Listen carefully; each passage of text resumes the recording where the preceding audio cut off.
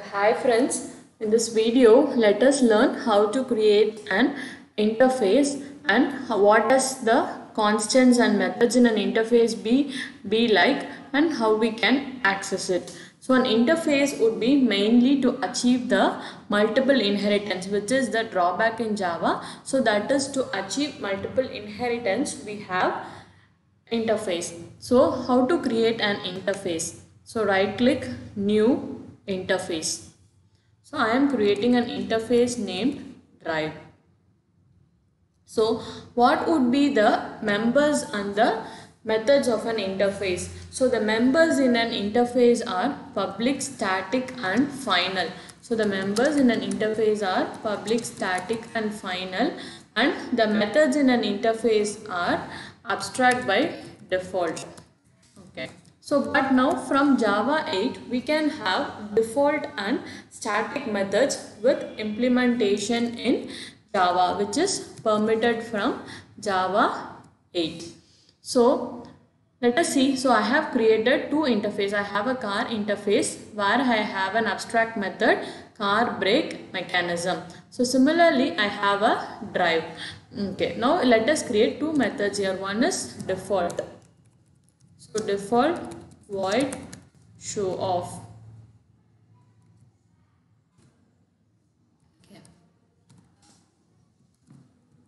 So I'm just giving here I am in interface default method. Okay. And also let me create one more abstract method here to show how a class can implement two interfaces. So public abstract void drive mechanism for car okay. And i'm not giving any implementation. Okay so now i have two classes. One is hyundai and maruti. So see here i have created uh, this hyundai is implementing both my car and drive. So here what i can do is I have, I have to create both the methods when I am implementing both the interfaces. So it has to give me, I have to create methods for both. Otherwise it would throw me an error. See, I am just commenting out. Now I will get an error. The Hyundai must implement the inherited method car car brake mechanism. See, I am just un, uh, uncommenting out this. Okay, and I am just commenting out this. So now what happens is it should uh, show me the other error that it should inherit the abstract method drive mechanism for car. Okay.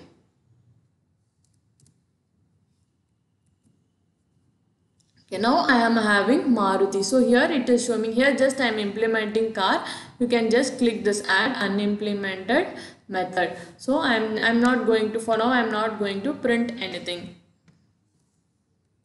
Okay, let us have a sysout just say I am in car brake mechanism for Maruti. Okay.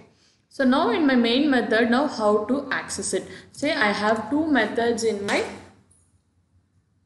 I have two methods in my Hyundai class and one method in my Maruti class and one default method in my drive class. So here what I am doing is let my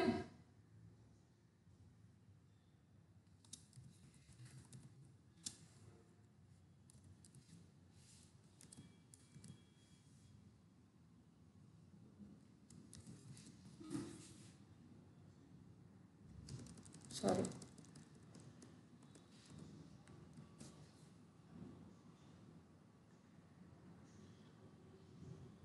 okay. Now Hyundai.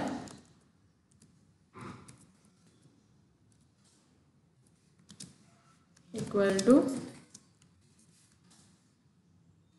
new Hyundai of. So Hyundai dot car brake mechanism. Next. Sorry one more method is there right? So Hyundai dot drive mechanism for car. So now how do I access my default method in my drive class? So what I am doing is drive d equal to new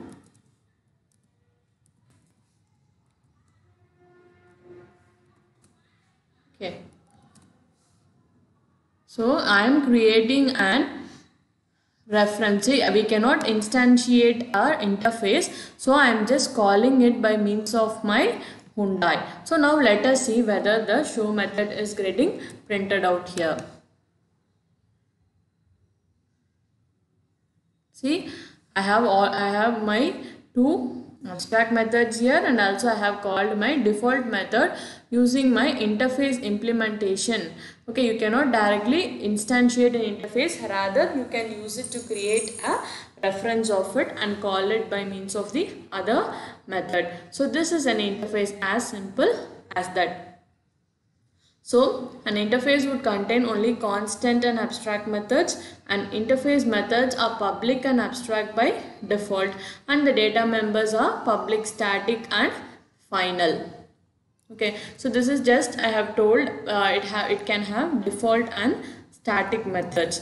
So next is a small example and the last would be the marker or tagged interface. So for now I am just giving a brief description of it. So a marker or tagged interface is nothing but it can have sorry it do not have any methods or data members. It will just provide some information about the objects at the runtime. So uh, example is we have serializable and Cloneable. So when a class is implementing serializable you would have seen you would give this line for de uh, for your like decrypting mechanism encrypting and decrypting mechanism. So what it does is it will just write you the state of an object or when it comes to Cloneable it is used for cloning your object. So let us see about this in a separate video. Thanks for watching. Bye bye